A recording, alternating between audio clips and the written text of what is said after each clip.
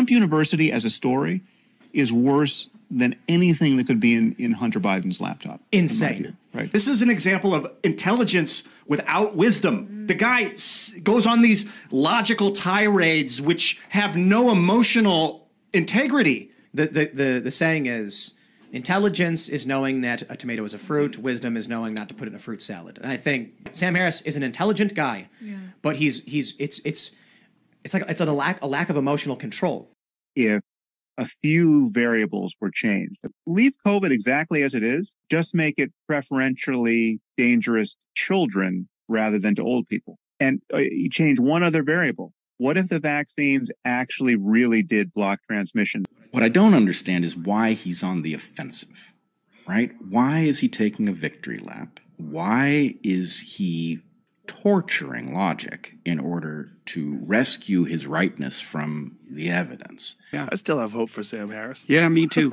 me too. Yeah, I hope he I hope he makes a comeback. I mean, he's not really going away. He's just got some weird opinions. This is this is one of the dangers of being creative, right? Most Mm. creative ideas are wrong, and a good section of those wrong ones are fatal.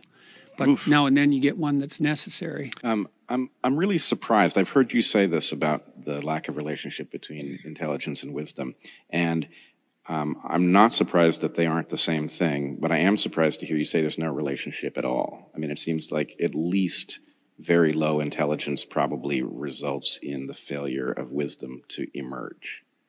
Um, is that not true in your experience? It's very often that intelligence allows you to drive yourself crazy in unbelievably creative and and manipulative ways. Like it's it's quite common for psychologists to experience phenomena where the intelligent client who's having mental trouble is in much more trouble than the less intelligent client because well first they're arrogant and second they can argue like mad for for the validity of their pathology let's say even though they know perfectly well that it's destroying their life. And so i really do think they're they're not they're not self-evidently related